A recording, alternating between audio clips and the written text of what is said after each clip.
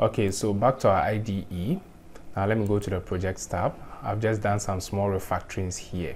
So I did say that the Eclipse microprofile config, let's just go straight to the API briefly.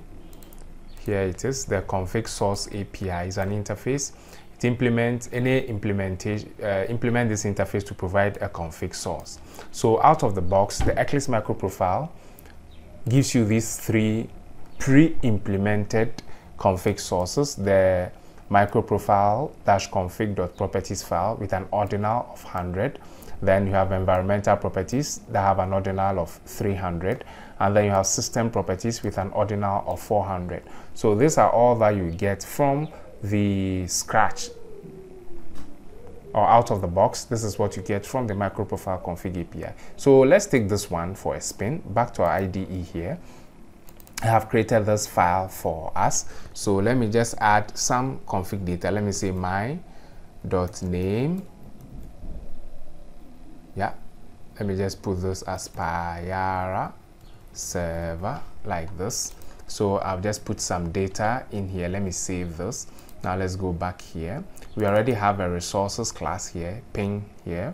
Let's just change this to config and then let's let's come here. Now we have the data in here. How do we get access to it in our java classes? It's very simple.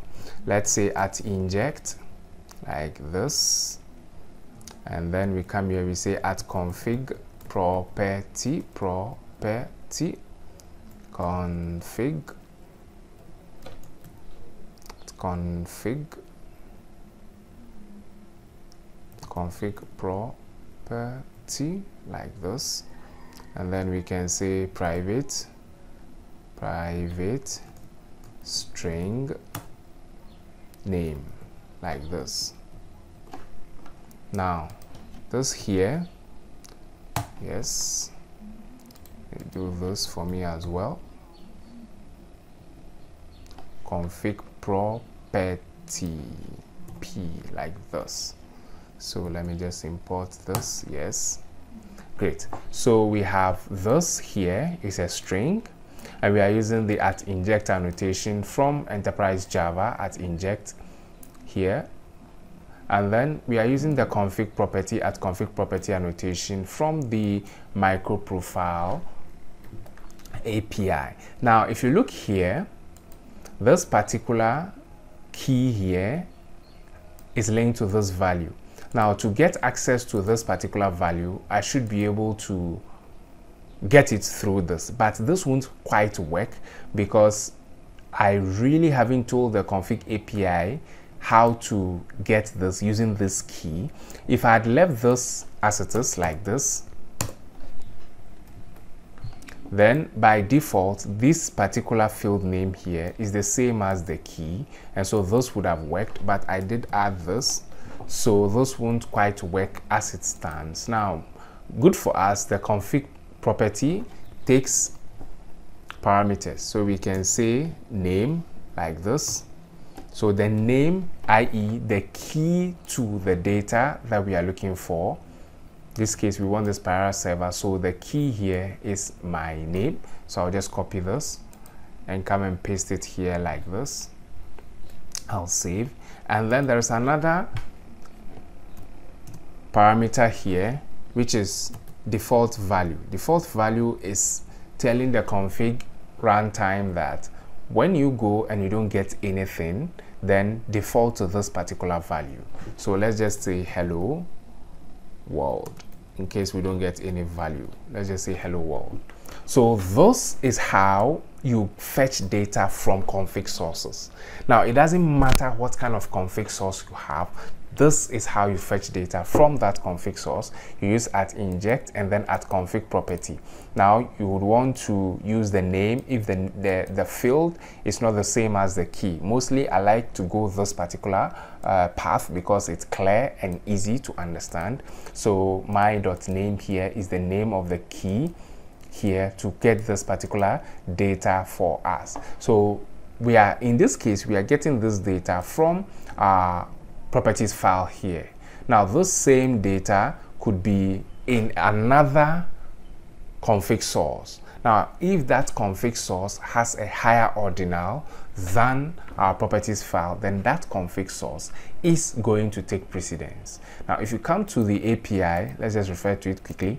It says the microprofile dash config uh, dot properties file, which is what we have here, has an ordinal has an ordinal of 100.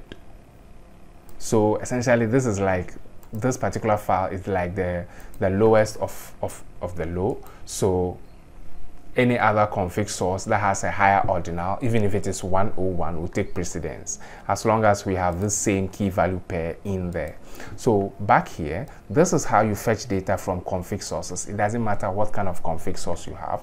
This is how you fetch data for it. So let's just come here and then return the name here like this. Oops. Let's just return the name like this. Let me just exit the full screen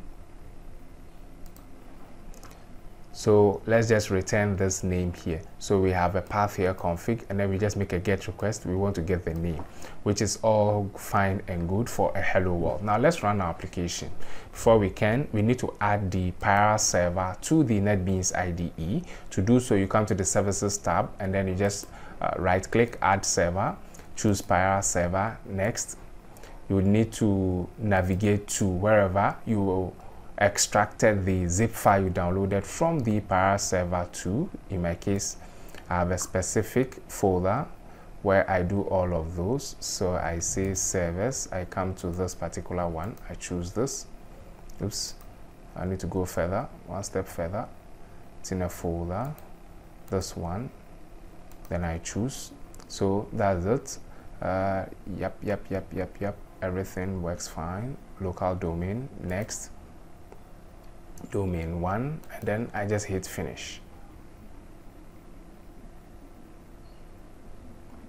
Okay so my server is in here. So as you can see the server is already running. So now we can deploy our application on it. Let me just pick this one Payara server.